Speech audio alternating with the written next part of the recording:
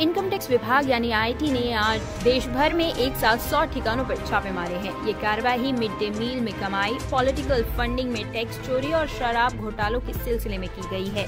वहीं बता दें कि दिल्ली, राजस्थान, महाराष्ट्र, उत्तर प्रदेश, छत्तीसगढ़ और उत्तराखंड समेत सात राज्यों में आईटी के छापेमारी जारी है। बात करें राजस्थान की तो राजस्थान के राज्य मंत्री राजेंद्र यादव और उनके रिश्तेदारों की 50 से ज़्यादा जगहों पर इनकम टैक्स की रेड जारी है। बुधवार सुबह करीब साढ़े पाँच बजे ये छापेमारी शुरू हुई थी। वहीं मामला मिड डे मील की सप्लाई में गड़बड़ी से जुड़ा हुआ है। आपको बता दें कि कोटपुतली में मिड डे मील का राशन सप्लाई करने वाली जिस फैक्ट्री में छापेमारी हुई है, वह राजेंद्र यादव की बताई जा रही है। उनके जयपुर स्थित सरकारी और निजी आवास के अलावा कुछ और ठिकानों पर भी टीम मौजूद है।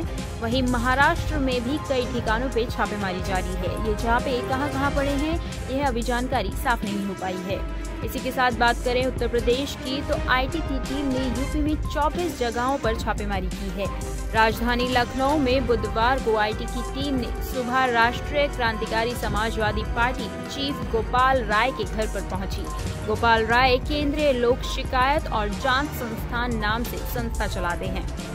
वह संस्था के चेयरमैन हैं। उनके घर कागजों की जाँच चल रही है। वहीं मामला पॉलिटिकल फंडिंग और टैक्स चोरी से जुड़ा हुआ है। इसी के साथ बेंगलुरु की बात करें तो बेंगलुरु में 20 से ज़्यादा ठिकानों पर आईटी की टीमें मौजूद हैं।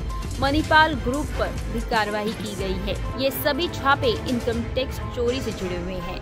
आईटी को बेंगलुरु में इस संबंध में जानकारी मिली थी। वहीं टीमों ने अभी एक्शन के बारे में ज़्यादा कुछ बताया नहीं है। इसी के साथ वेस्ट बंगाल में भी ममता सरकार के कानून मंत्री माल्य घटक के छह ठिकानों पर बुधवार सुबह सीबीआई ने छापेमारी की। घटक पर कोयला तस्करी का आरोप है। सूत्रों के मुताबिक सीबीआई की तीन टीमें सुबह आठ बजे से घटक के आवास समेत छह ठिकानों की तलाशी ले रही है।